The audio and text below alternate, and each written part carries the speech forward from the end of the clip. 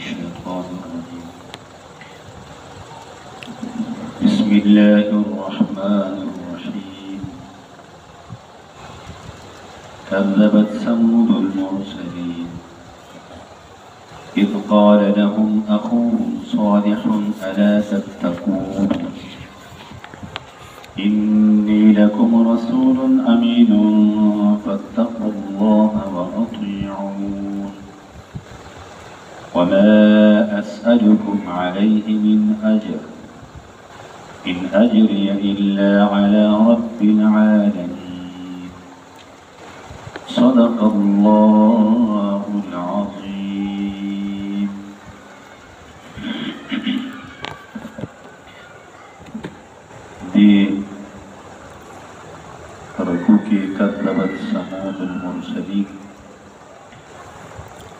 د سمودیانو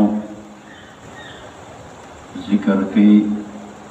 هغه قوم چې هغه د الله جل جلاله صالح علیه السلام را لګلو دی هم لکه د نور پیغمبرانو په شان خپل قوم ته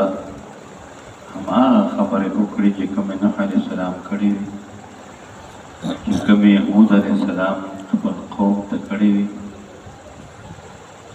خو هغه هم لکه د نورو امتونو په شان د خپل پیغمبر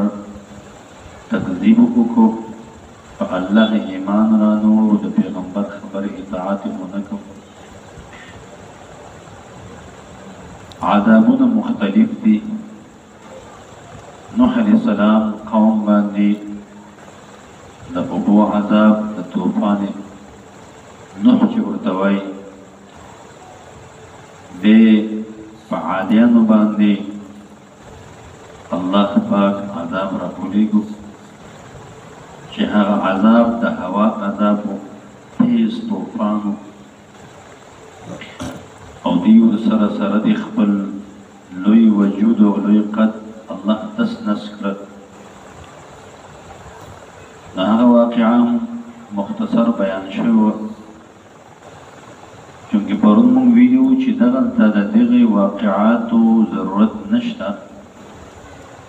خو چونکه دغه واقعې په نورو صورتونو کې دي چې هغه مونږ نه تیر شوي دي نو سامعینو په زړه کې دغه یو وسوسه وي چې د صالح علیه السلام خپل قوم سره او دا واقعه څنګه وه نو ځکه موږ پرون ویل چې د دې رکو سره د دې څه مناسبت نشته نه دې پکې څه ذکر شته خو لهذا د سمودیانو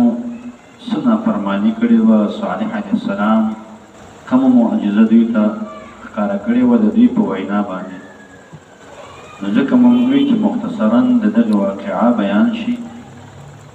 نو بیا به تاسو مونږ ته د هغې ترجمه هم آسانه شي او معلومات هم شي فرمایي چې مونږ لږ پرون ویلي وو صالح علیه السلام ورته ویلي چې تاسو ما منلو کې او په الله باندې ایمان راوړلو کې کم شرط ده نو دی وخت کې دی سرداران د قوم سره ولاړو نه هغه مخې ته یو غر و هغه ورته لکه بس دی غرنه ته یو اوخره وباسي او هغه اوخه بلار به وي او بیا هغه مونږ په مخ کې لنګ شي نو صالح علیه السلام الله نه سوال وکړو د هغې په خواهش باندې دغه نمونه الله ښکاره کړه دې قوم ته دوی وویل چې مونږ به بیا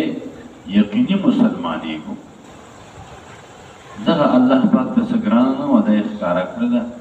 دی چې ښکاره کړه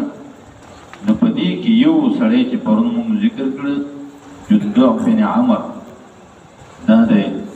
سمودیان یو سردارو هغه په هغه وخت کی اسلام راوړو مسلمان شو په نورو سردارانو باندی تاریخ لیکلی وی دیر اثر یې وکړ خو په هغه کې نور داسې لکه اوس ابو طالب صاحب د پاره د اسلام د پاره څه بهانې وي نور وګرځیدل دا رنګه یو سړی زړه پکې زړه کې چې اسلام ته رغبت پیدا شي خو یو بل داسې انسي شیطان وي نو هغه ورته یو رکاوټ جوړ شي نو نورو خلکو دې ورته ویل چې ګوره تاسو د خپل دین پرېږدي او تاسو حالانکه دوی په خپله وکتل په ښکاره باندې دا اوښه ښایسته اوښه وه نو صالح علیه السلام ورته ویل چې اوس ایمان مو رانه وړه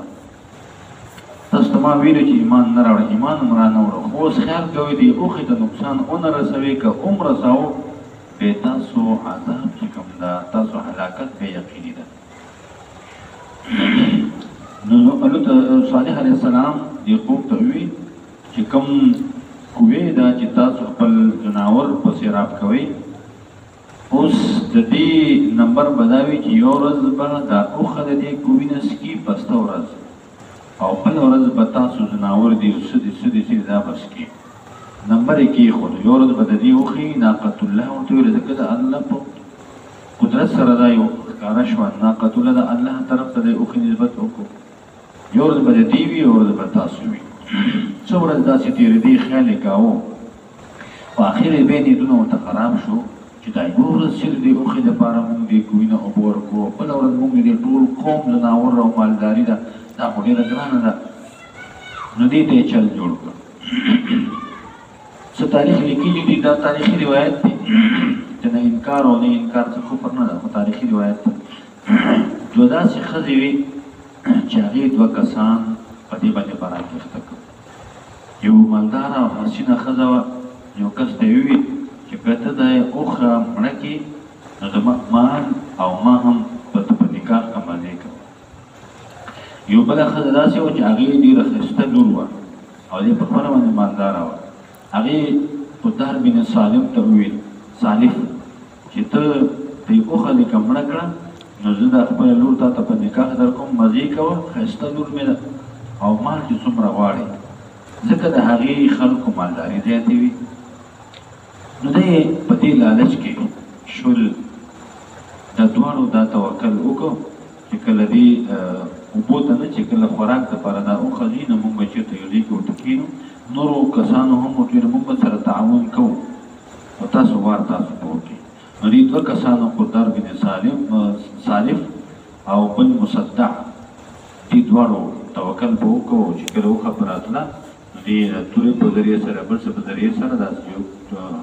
علاوه باغې سره دینه خپې کټ کړی او دې مرکړ بیا یې مشوره وکړه چې شپې شپې به د صالح علیه السلام خاندان یعنې د ده کورنۍ اهل و عیال چې کومه دا به ټوله قتلو او سهار ته به قسمونه وکړو چې موږ نه څه خبر یو نو صالح علیه السلام په دې واقعې باندې خبر شو دومره سخت خفه شو دومره سخت خفه هغه ویل کنه چې ما خو تاسو ته ویل نو تاسو دومره نقصان وکړو چې په خپل ځان باندې مو عذاب بالکل یقیني کړو تاسو باندې مو ورته اوس عذاب راځي درې ورځې نه پس په تاسو باندې عذاب راځي دې چې کله دا خبره واورېدله نو ایمان نه خو یقین نه په خبره باندې وو پیغمبر خدا چې سهار کېدو دې مخونه د ډېر خفقان نه ذکر شوي وو. دا درې علامې دا د مبتدې او د حالات د بدوالي علامې وې. زېړ شوي وو، سهار چې کېدل ټول مخونه زېړ وو، ګبرا وو. بل سهار ته چې کېدل مخونه تک سره وو، د تېر د ګبراوالي نه او درېیمه ورځ یې مخونه تک تور شوي وو. دا درې ورځې دوی دومره زړه وخوړ چې بلکل دغه شول او رمونه یې په ځای نه ټینګېدل. را روانې شپې ده شپه چې شوه په دې باندې یو داسې کړکداره چغه ووالې شوه چې دې څوک پراته وو څوک ناست و څوک ولاړ و څوک روان و ځای په ځای باندې په هغه شپه کې الله پاک په هغه حالت کې حالات کړ خو دومره سخته چغه وه دومره سخته چغه چې د دې چغې څوک ورته صیحه وایي، څوک ورته جیفه وایي، څوک ورته صاعقه وایي، په قرآن کې ټول راغلي، ځکه دا ډېره سخته چغه وه. هغه چغې دومره دهشت او دومره وحشت و، چې دوی په هغه چغې سره ټول مړه کړل. څومره کسان وو؟ دا دا تقریباً څه پنځلس سوه کورنۍ وه، پنځلس سوه کورونه دې وخت کې د دې چغې سره ټول هلاک شول. صالح علیه السلام سره دی وخت کې تقریبا یو سل شل ملګری ډیر نه و سره یو سل شل ملګری و الله پاک د دې چغې نه داس نو جدي چې دی وخت کې دوی هم دلته په دې کورونو کې و الله پاک د دې چغې نه دی بالکل محفوظ او مامون کړ او دې چغې سره د صالح د سنګریانو چې کوم قوم و چې چا د اوخې ته څه پروګرام جوړ کړه او څوک پکې و چا ایمان نه وراوړي هغه ټول الله پاک هلاک کړ په چغې سره الله هلاک کړ نو صالح علیه السلام سره د قومه دې کې څو روایت راځي تاریخي روایت دی څوک وایي چې دی لاړو سره د خپل ملګرو فلسطین کې آباد شو څه وخت تیر څوک وایي چې نه، دلته په دې کورونو کې اوسېده، څوک وایي چې نه، مکې ته دی لاړو، حرم شریف ته، او د حرم په مغرب کې بیا ده اوس هم هغه ځای شته، د قبر ده، د مورخینو ته معلوم ده، ځکه چې دی عربي زبان و، صالح السلام دا د دې تبوک ته چې ځي په دې علاقه کې دا کوه ده، د سمودیانو چې کوم کوه ده په دې علاقه کې ده. ځکه حضور پاک صلی الله علیه وسلم یو ځل د تبوک په سفر باندې روان و، نو قدرت شانه هغلته یې پړاو وکړ چې چېرته چې دوی کوهی ده، نو صحابه دلته څه خوراک څښاک تیاراوه، نو د هغه کوهي نه اوبه راواخستې، په ترکاري یې پخه کړه، اوړه یې په لامده کړل، چې حضور پاک صلی الله علیه وسلم ته پته ولګېدله چې د دې کوهي نه مو تېره هر څه توی کړي، دا روټۍ مه خورئ، دا خو هغه کوهی ده چې هغې د عذاب سبب ورته ګرځېدلی و. او دلته پناه هم مه اچوی هغه ځای کې چې چېرته الله عذاب نازل شوی وي هغې باندې په استغفرالله سره تېرېږي پناه پې مه اچوی دا خو د عبرت ځایونه دي داسې نه وي چې الله پاک هغه غوسه دوباره کړي او په موږ باندې د هغې عذاب په موږ باندې نازل کړي نو هغه ترکاران یې ونه خوړلې هغه روټۍ یې ونه خوړله ځکه دا د هغه بیره وه نو چې سهار شو صالح علیه السلام دې مړو ته دې هلاک شوو ته ودرېدو وتل چې تاسو ته ما ویل نه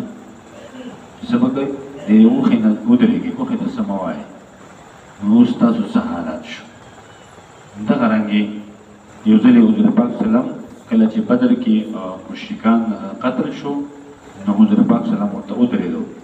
وتل څنګه تاسو سره الله پاک وعدې رښتونه کړې موږ سره چې الله پاک کومې وعدې کړې وي زموږ سره خو الله پاک ټولې وعدې رښتونې کړلې نو عمر رض ورته فرمایي صیب دا خو مړي دي مړو ته ته لګیا یې مړه اوري او ته له تا نه ښه اوري خو جواب نه عاجز دي جواب نه عاجز دي نو دا د پیغمبرانو خاصیت ده چې مړو ته دوی چې ویل کوي د دوی اورېدل کوي په هغې جواب نشي ورکولی جواب نه عاجز دی نو دا د صالح علیه السلام د قوم مختصره داسې واقعه وه نو ځکه دا د دې محل نه و په هر حال موږ وویل کذبت ثمود المرسلین تکذیب وکړ ثمودیان د پیغمبرانو اذ قال لهم اخوهم چې وویل دوی لره خپل ورور صالح علیه السلام الا تتقون چې ته څه وکړه آیا تاسو نه یریږئ د الله نه انی لکم رسول امین دته الله پاک پیغمبري پنځه څلوېښت کالو باندې ورکړی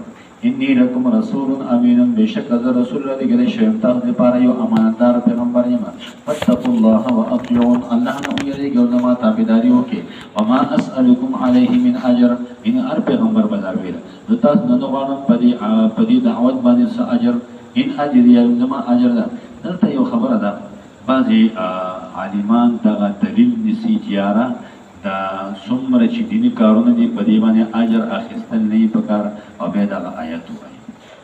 وما اسالکم علیه من اجر په درس باندې پیسې نه اخیستل په کار په امامت باندې پیسې نه اخیستل دا ټول دي په ټیوشنو باندې پیسې نه اخیستل په کار دا ټول د دې دلیل دي شي مسله دا ده چې په فرض باندې کم شی چې فرض وي فرض عین وي او ته د پیسې اخلې نو دا ناروا دي اوس د دې پیغمبرانو په دې دعوت باندې پیسې ولې نه اخیستلې؟ په پیغمبرانو باندې دا دعوت فرض عین و، فرض عین و، نو فرض عین باندې دوی پیسې نه اخیستلې. او که چېرې اوس یو سړی وایي، اوس یو امام وایي چې زه خپل لمونځ کوم او مقتدیان وایي چې ما ته به د دې لمونځ پیسې راکوئ، نو دا خو دی خپل لمونځ کوي، فرض عین ده په ده باندې. یو سړی وایي زه روژه نیسم، فرضي روژه نیسي، خو ته به پیسې راکوې، نو زه هلته فرضي روژه نیسم، نو دا پیسې اوس اخیستل دا ناروا دي. يو په سنتو باندې يو شی سنت ده يو شی مستحب ده په دې مستحباتو باندې يو سړی پيسې اخلي پيسې اغستلی شي په اوس ګوره درس ته په درس باندې پيسې اغستلی شي دا اوس علماء خپل توجيهګانې کړي دا فرض نه ده اوس يو امامت ده په دې باندې نو يو عالم ده يوې دغسې چېرته مسله کوله چې څومره امامان دي او په دې امامت باندې پيسې اخلي دا ناروا دي نو په خدای مو دی دا ټوله زندګی خو مونږ دی پسی کړی دی او امامت پیسی مو ورکړی نو زمونږ خو ټول لمونځونه دی قبول شوی نه دی نو اوس بیا دا ته څنګه فتوا دی وکړله نو بیا هغه عالم خیر د یو روایت د جواز شته ده یو روایت د جواز شته ده کوم یو ته دا خو اوس موږ د ټول مونږ نه راته خراب کړ نو هغه چې مستحاوله سي ډیر خلک د تقلونه د موږ راولو کا علما نو دی وایي چې هر ما ته دومره پیسې راکې